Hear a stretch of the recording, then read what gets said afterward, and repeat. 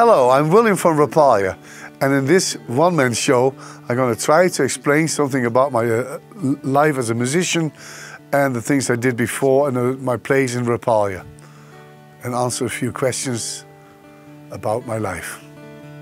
We've been through some fine things together.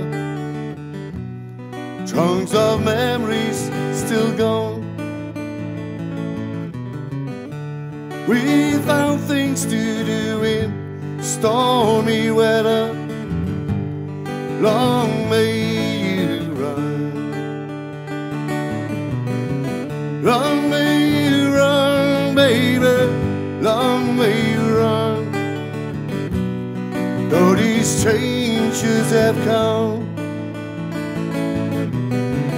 With no much shining high in the sun. It was down in River in a 1965 when I first saw Hello, welcome to this uh, Rapalje show with me telling about myself and my musical career. I think it's about uh, more than 40 years ago when I had my first guitar. I had it on Christmas. I dearly wanted to have a, a real instrument. I was always practicing on old instruments from my father, an old banjo, and also like a guitar banjo, play on pots and pans to drum on, but I really wanted to have a, a, a real guitar. And I think I had it on the age of 10. Ever since that guitar came in the house, my whole life changed. We had not much money to have music lessons, but a friend of mine lived in my street, he played already in a band with his brothers. He was older than me, and he taught me some chords and uh, learned me how to hold the guitar, play the rhythm. I think it was about the age of 15 or 16 when I bought my first electric guitar to get in a cover band. We wanted to play U2 stuff, but we were not good enough to play music like that. So we had about a, a simple version, played with reggae music, but uh, I don't think it ever worked out. We had one or two gigs with that band. We formed a band with all the guys.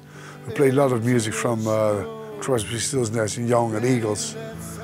And we formed a band called Double Cross. They teach me a lot about the music from the 60s and the 70s. That's how I came also into that song from Neil Young, Long May You Run. So it's an opening song ever for me if I play on the street or do a solo performance. In Rapalje, I play gituki, the bodhrán, the tea chest bass, so now and then a penny whistle, and I sing. At home I play also guitar, try piano, but we don't use it on the stage.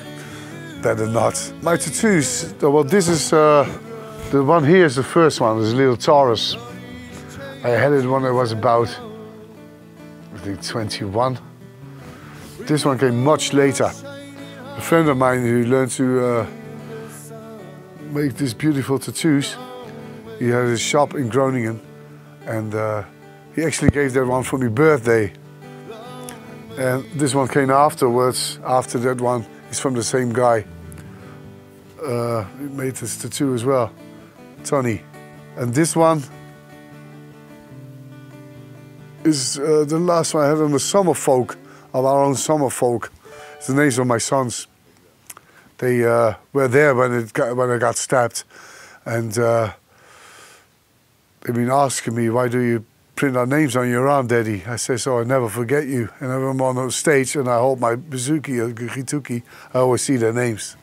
So I forget, never forget them. Uh, the meaning of this tattoo is actually, it's two dragons. I've been born in the year of the dragon, in May, as a Taurus. And this one is just a free uh, drawing of the guy who did it. I had it for my birthday as well. Okay, we just did the, the live stream. Uh, it's Tuesday evening now, and we always do the live stream. Start at 8 o'clock on Facebook. And people are allowed to do questions to the guys of Rapalje. And this uh, special for me, I'm gonna answer the questions they did, the people did on uh, Tuesday. So come on with your questions. Yes, I do uh, do gigs besides Rapalje. And uh, actually, it's a dream for me to, to play in a metal band again. And actually, it's possible, but I don't have time to go with them on tour. That's the thing. I stick too much to Rapalje, and I will. But uh, so now and then, when I can do, I do a solo concert. I'll play on the street as a street busker. The first instrument I played was the guitar, actually. Actually, the banjo, but I didn't really play it good. I really had my first guitar and started really uh, practicing to be a guitarist. I wanted to be an artist since the day I was born, I think. I got inspired by a lot of people uh, who played music, and I always wanted to play music. And the songs I played was more like, the songs I liked is more like in the rock, rock music. But uh, if you go further, meet other people in, in, the musical scene, you learn other kinds of music. And uh, at the moment, it's the Irish music and the Scottish music, or the, the folk music, the number one. As a singer, ask me as a singer who I, uh, who I like the most as a singer. Uh, he's already dead, but it was Ronnie James Dio. This man has such a powerful voice. And uh, I got really inspired by that man. The biggest mistake I I made on the stage was once when I was singing Caledonia, and you got this part in Caledonia said, I traveled fast with conscience flying.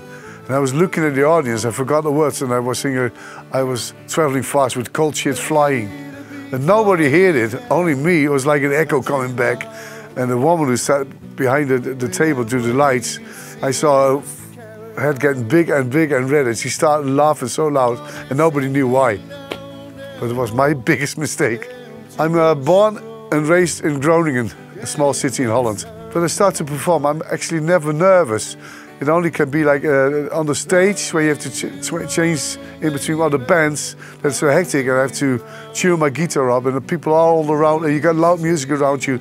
And I got a bit like, it's not nervous, but like, huh, I don't like that. I, I made a living uh, from music before I played with Rapalje, but it was more like a solo career. I played on my own as a street busker and played in pubs and bars. No, I don't have a motorcycle. Uh, I don't have a motorcycle.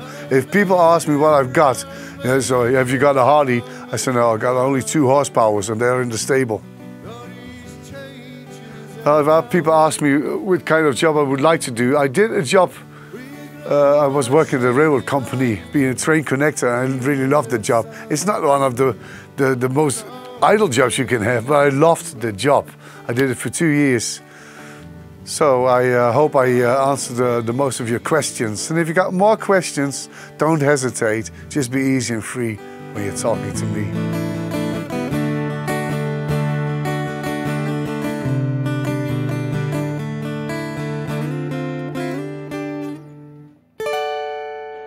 Thank Dankjewel.